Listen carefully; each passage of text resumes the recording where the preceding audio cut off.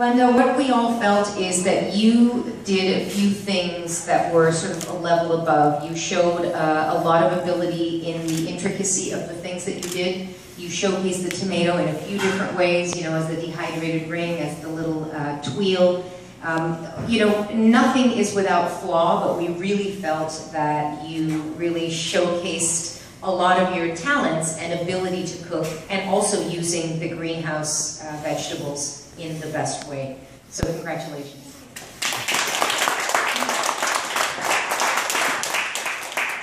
Thank you so much. Um, congratulations, Linda, and again, congratulations to everyone for a job well done today. Um, Glenda, as our winner, is going to be awarded $500 in recognition of this honor.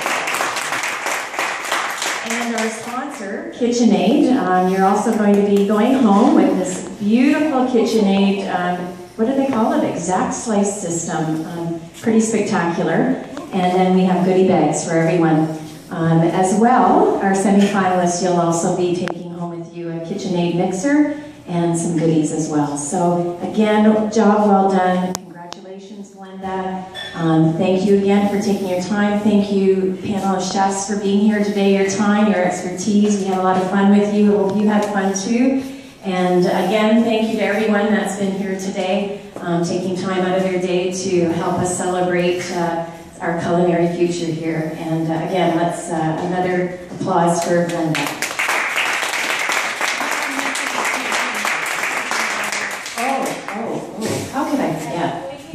On Friday, Glenda will be joining Chef Wendy on CHCH. Ah. So Glenda, my challenge to you now drink a lot between now and then. How are we going to get the sorbet to freeze on television? But we'll figure it out. Dry ice. Dry ice, yeah. And the time for that again is we have five minutes. Five minutes. 8.40.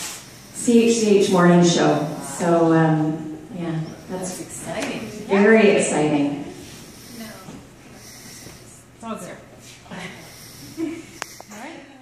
Oh, I'd like to thank Cirillo's for uh, being the host site and putting on such a beautiful spread too.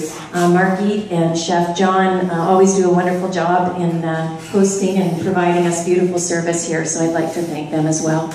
And again, thank you to everyone for being here today.